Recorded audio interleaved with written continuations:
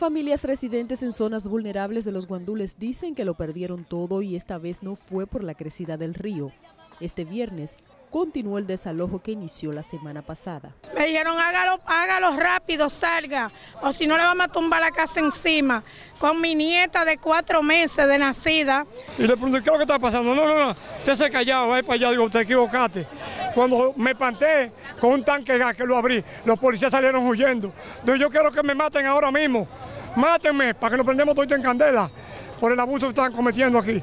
Muchos alegan que lo sacaron de sus casas sin haberle pagado por ella.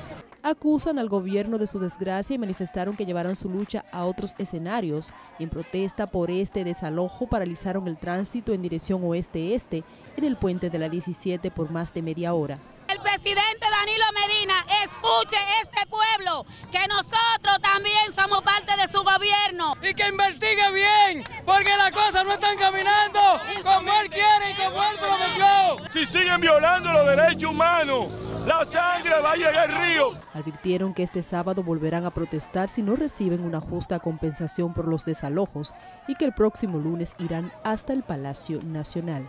Jared Fernández, Noticias, Telemicro.